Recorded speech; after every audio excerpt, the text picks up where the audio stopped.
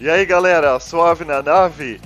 É, ué. Então, aqui no servidor foi bem pelo contrário, teve muita ação, loucura total. Só de você olhar minha energia, já percebe que a gente invadiu cinco Nexus do último episódio até agora e ainda a gente foi invadido, sim. Olha só, eu tô com outro clã, a galera continua a mesma, só que eles criaram com outro nome. E eu não vou enrolar não, porque tem muita coisa da hora para mostrar para vocês. Começando com a invasão de ontem lá da México aqui, quem assistiu o vídeo até o final tá ligado que eu saí do Factions, entrei aqui só pra vir destruir o Nexus do México aqui.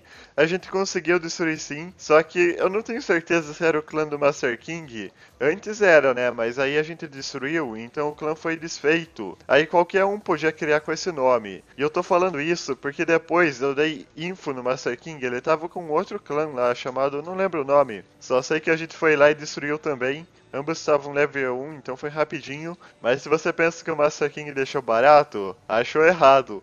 Porque não demorou muito, eles já colaram no nosso Nexus e rolou umas treta louca. Quando o Master King veio a primeira vez, eu tava editando. O meu clã até conseguiu defender sozinho, só que aí o Master King começou a falar que eles estavam de hack no global, que gravou, não sei o que. Bom, se eles tiverem de hack mesmo, pode banir, mas eu acho que é choro no Master King.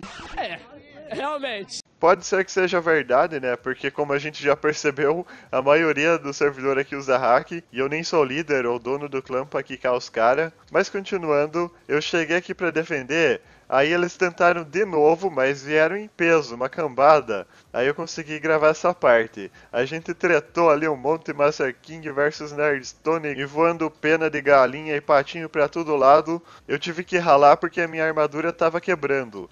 Mas a gente conseguiu defender de novo. Aí o Master King ficou full pistola e saiu do servidor. E a gente ainda destruiu o Nexus dele de novo. Então ele deve estar tá bem felizão. Certamente que sim. Já o nosso Nexus, eu não sei se foi o Master King, na verdade eu não sei, faço a mínima ideia de quem foi, porque foi de madrugada, devia ter alguém online do clã sozinho, ninguém viu nem nada. Quando chegou no outro dia a gente tava sem clã. Só sei que o cara também se lascou, né? Porque pegou um Nexus level 12. Foi o maior level que alguém já chegou aqui no servidor nessa temporada, tá? Que mal começou. Então a vida do Nexus era gigantesca, o cara deve ter ficado lá horas citando. O ruim que a gente perdeu o Nexus level alto, mas para criar é só 50 mil, então tipo não foi problema. enquanto vai nascendo mais Blaze, eu vou gastar esses meu cash. O legal é que fechou 20 mil certinho. Então daria para comprar quatro caixas dessa, mas eu vou comprar só três. Só três modo de falar, né? Isso aqui é cash pra caramba. São três caixas, mas cada uma vem cinco itens, por isso que ela custa 5 mil. E vejamos, não, cinco...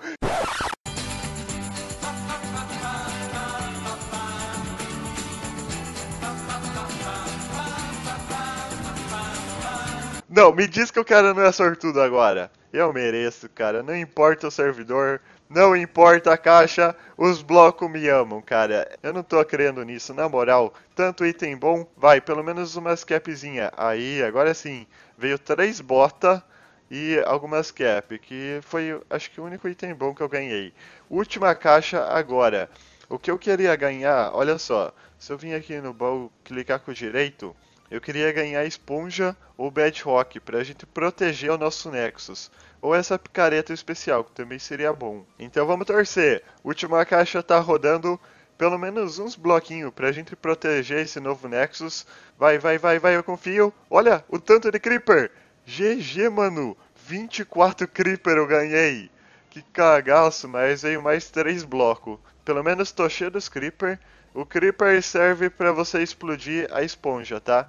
Para quem não sabe, essa esponja você não consegue quebrar. Quando você chega no Nexus de um cara, você pode quebrar tudo, mas você não consegue construir, né? Pôr bloco perto. E a esponja você não consegue quebrar, você tem que chegar e pôr creeper nela. Tá, agora o que, que eu vou fazer com essa montoeira de bloco? Essas armaduras eu vou tacar no meu cofre por enquanto, tá? Depois eu vou ter que vender. E esses minérios, vamos vender aqui, vai dar bastante grana. Já o ouro eu não vou vender. Eu vou comprar maçãzinha para fazer capiroto para mim. Porque esses dias foi tanto PVP que quase faltou. E é o seguinte, eu tô juntando bastante money para comprar uma coisa. Alguns daí devem estar imaginando, eu tô farmando um monte para conseguir XP também, encantar, vender item, fazer de tudo para conseguir money, para já comprar isso no próximo episódio. É um item muito caro, acho que o mais caro do servidor. Eu vou tentar comprar ele sozinho pro nosso clã. Até porque, se a gente ver, não tem ninguém do meu clã no Money Top. Só eu, né, que tô aqui em quinto lugar.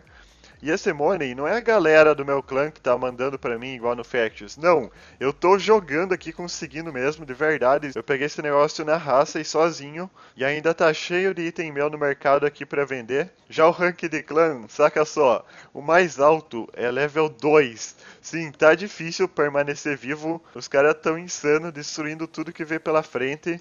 E já que eu não ganhei esponja nem bad rock na caixa, vou ter que pensar em uma estratégia bem legal para proteger o nosso Nexus.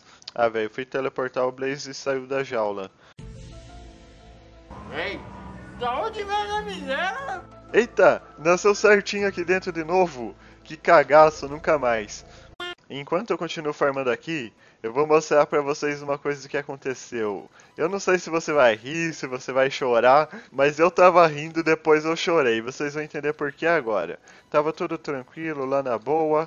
Aí um carinha me falou, olha Nerdstone, dá TPA aqui, eu tenho uma base com spawner, tem Nexus. Aí eu não tava acreditando muito, dei TPA nele pra ver se era verdade.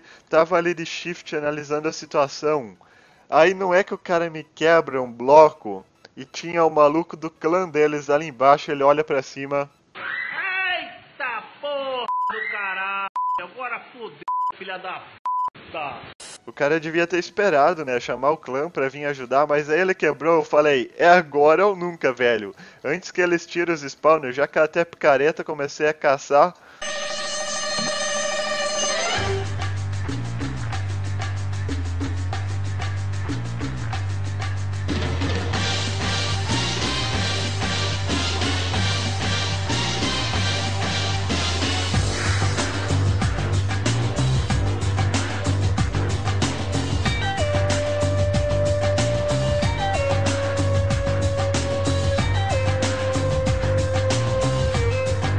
Velho, eu consegui roubar 29 spawners de aranha dos caras. Tudo bem que a aranha não é grande coisa, né? Mas são 29 spawners. Aquilo ali valia uns 250 mil. Eu comecei fazendo tudo certinho, catei a maioria. Aí bate aquele desespero, né? Como que você vai fugir de dois caras full P4 bolado pra te pegar? No território deles. Eu tentei cavar para baixo, tinha um outro andar. Eu até tava procurando o Ender Chest lá em cima. Aí tinha o Ender Chest ali embaixo, eu nem percebi, mas eu nem tentei abrir, eu não sei se ia funcionar. A minha ideia era descer pela água e escapar, correndo, digitar barra spawn e fugir. O problema é que a base era muito alta e a água não tinha escorrido o suficiente. Aí quando a merda tava feita eu pensei, se eu voltar pra cima, os caras vão me bater e vão me derrubar. Então continuar descendo que a chance de dar merda é menos pior. Mas não é que um carinha conseguiu me alcançar, me deu um hit, acho que tinha repulsão, me jogou lá pra casa do Dakota. E eu não lembro se eu tava com peso pena ou não, foi tudo muito rápido. Tinha uns cactos perto, não sei se os spawners sumiam ou não, mas eu fiquei tentando dar barra back pra pegar os itens e salvar, mas com a minha internet ajudando, né, os caras sempre me matavam. Agora analisando eu penso, nossa, como eu fui burro, por que, que eu não fiz isso? Mas na hora é muita pressão para você, eu tava em cal com os carinha também. Pra você ter noção, eu tinha entrado em cal primeira vez com eles. Os caras estavam me fazendo um monte de pergunta. Aí tinha os que não eram VIP, né? Que não pode dar TPA no player. Pra quem não sabe, aqui no servidor sem VIP não tem barra TPA. Então quando você vai invadir, tem que passar as coordenadas para eles virem andando. Eu sei que é meio estranho. Eu não concordo, mas o servidor não é meu. Aí eles estavam pedindo as coordenadas, eu falava, eles pediam de novo e os caras me atacando tudo ao mesmo tempo ali, muita loucura. Os spawner a gente não conseguiu recuperar, mas também não perdeu nada, né? Só perdeu a oportunidade. E se conseguisse, eu acho que eu ia ficar com dó dos caras. Imagina roubar todos os spawner deles na picareta. Quem sabe não foi até bom que isso aconteceu, mas depois de um tempo que o reforço chegou, a gente foi lá e destruiu o Nexus deles. Cada Nexus que você destrói ganha 500 de energia, independente de qual level for. Também teve uns outros nexus de umas facções aleatórias que a gente destruiu. Eu não lembro o nome, mas tá passando aí na tela. Mano, loucura total. Até agora eu não acredito que eu fiz isso, mas vamos seguir em frente, né? Passado já era. Vida que segue. E eu tô farmando sem pilhagem mesmo, porque essa espada tem quebrável. A que eu tenho pilhagem, ela não tem quebrável, nem quebrável 1, então ela quebra muito rápido. E Blaze nem dá pra vender na loja, o que eu quero é o XP mesmo. Se eu tentar vender aqui, vocês vão ver que não dá. Só serve mesmo pra você fazer potezinho de força, e eu já tenho um monte estocado.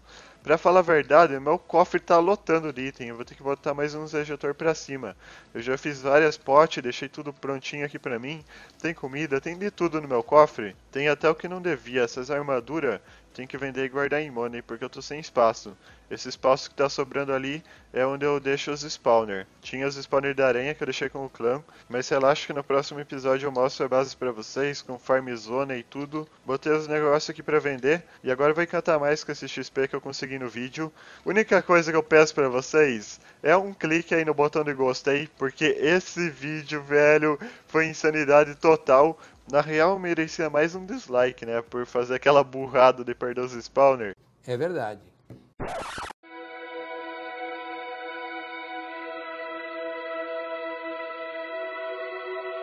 Quer dizer, às vezes não. Mas deixa o like aí pra ajudar a gente. E muito obrigado por assistir o vídeo até o final. Valeu, falou nós. Tchau!